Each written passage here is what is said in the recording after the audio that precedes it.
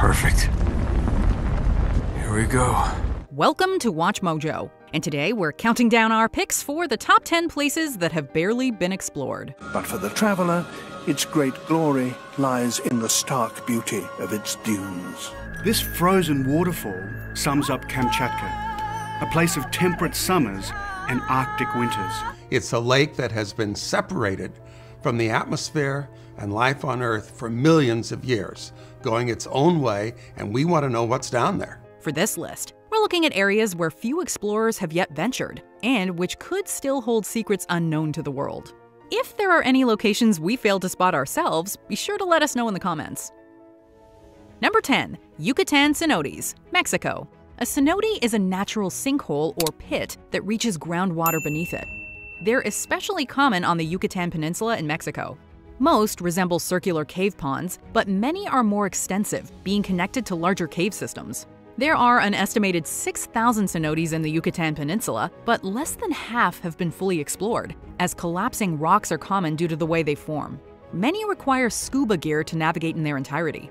Unfortunately, this has led to frequent deaths while exploring them, so fully documenting them is difficult and extremely hazardous. Number 9. The Rub' al Khali, Arabian Peninsula. Perfect. Here we go.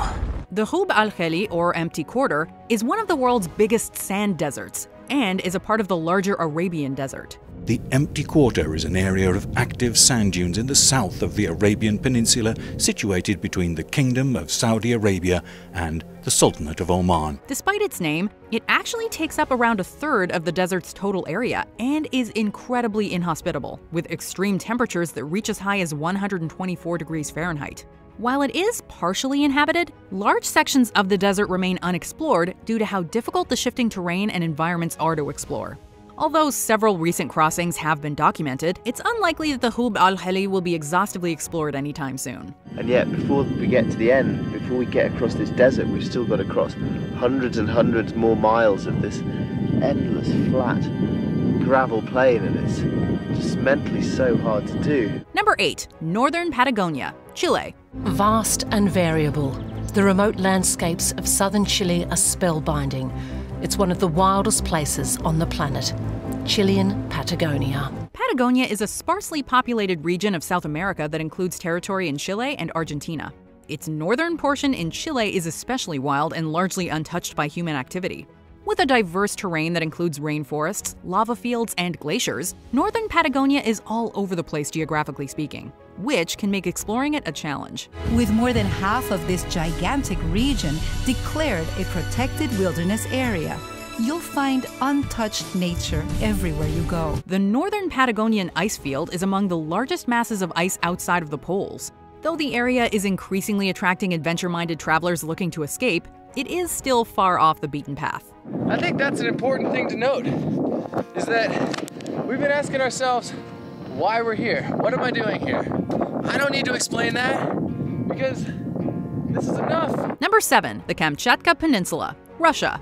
Siberia in general is considered pretty inhospitable by most standards, and as such, is not heavily populated. While the climate in the Republic of Sakha is particularly extreme, we're going with the even more remote Kamchatka Peninsula. The region is comparable in length to California, but the Golden State's envious weather is notably missing. The temperatures are frigid. This frozen waterfall sums up Kamchatka, a place of temperate summers and Arctic winters. Kamchatka is also home to hundreds of volcanoes, many of which are currently active. Lava seeps from volcanoes, creating new land. But the severity of winter can blanket even these giants as bitter weather takes hold. As a result, seismic activity such as earthquakes and tsunamis are relatively common. Following World War II, Kamchatka was used as a military zone by the Soviets, and as such remained off limits to civilians and tourists until the 90s. Number 6. The Namib Desert, Southern Africa. It has been said that the name Namib means emptiness, but no one really knows. And the mute sands conceal the mysteries of its age, history, and origin. Stretching over 1,000 square miles along Africa's southwestern coast, the Namib is among the least populated areas in the world.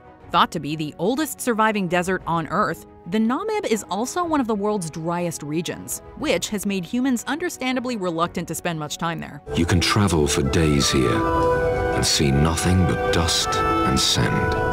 Be that as it may, its oceans of sand boast some of the largest dunes in the world, with some nearly reaching 1,000 feet high. But for the traveller, its great glory lies in the stark beauty of its dunes. Despite how arid it is, the coast gets a lot of fog, which has caused a large number of shipwrecks, hence one section being nicknamed the Skeleton Coast. Number 5. Gangkhar Punsum, Bhutan. Located in Bhutan and bordering Tibet, this mountain is the largest unclimbed mountain on Earth. Although neighboring peaks on the Tibetan side have been scaled, Gangkhar Punsum has yet to be officially climbed.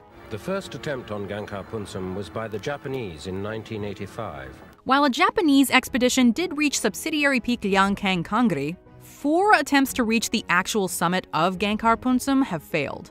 Since then, the Bhutanese government has outlawed mountaineering due to local spiritual beliefs.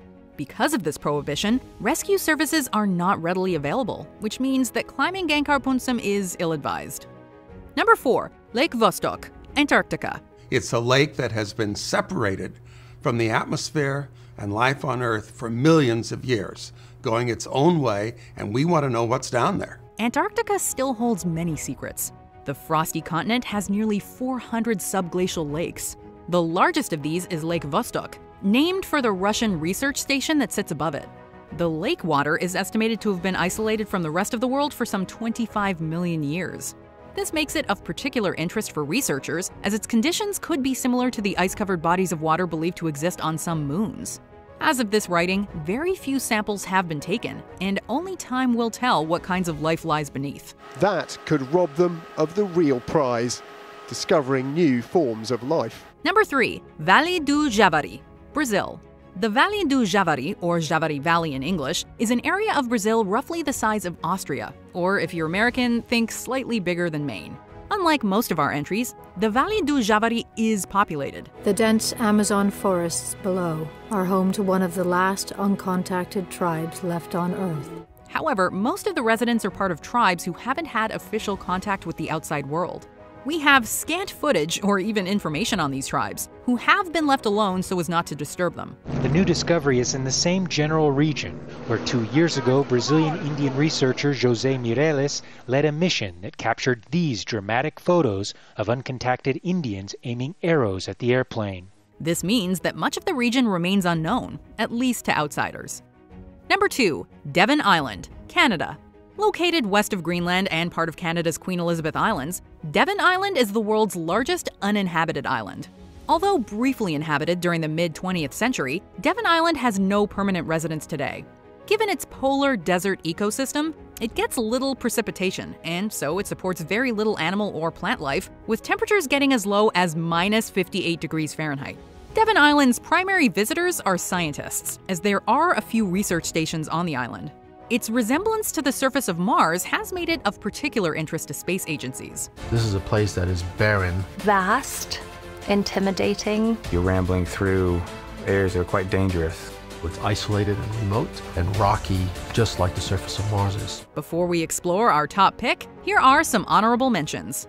Son Doong Cave, Vietnam, the world's largest cave. It's an absolutely amazing atmosphere and it's hard to take in. It's breathtaking and absolutely huge. Mount Roraima, South America. Steep slopes and three national borders make the logistics complicated.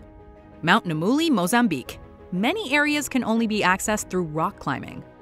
New Hebrides Trench, Pacific Ocean. First explored in 2013. Before we continue, be sure to subscribe to our channel and ring the bell to get notified about our latest videos. You have the option to be notified for occasional videos or all of them. If you're on your phone, make sure you go into your settings and switch on notifications. Number 1. The Mariana Trench, Pacific Ocean. Located in the Pacific Ocean near Guam and named for the nearby Marianas Islands, this is the world's deepest ocean trench. Its greatest confirmed depth is around 6.8 miles, although unconfirmed reports suggest it may be even deeper. If we take the height of Mount Everest, we would still have about a mile of water above us before we get to the ocean's surface. Its atmospheric pressure is over 1,000 times that of the surface of the sea. This has made it incredibly difficult to explore, and only seven successful descents have been made into the trench, four of them manned and three unmanned. Life support, good. Depth, one, zero, nine or two, eight meters. At bottom. Every descent reveals something new about the mysterious trench and the strange flora and fauna that call it home. Do you agree with our picks? Check out this other recent clip from WatchMojo, and be sure to subscribe and ring the bell to be notified about our latest videos.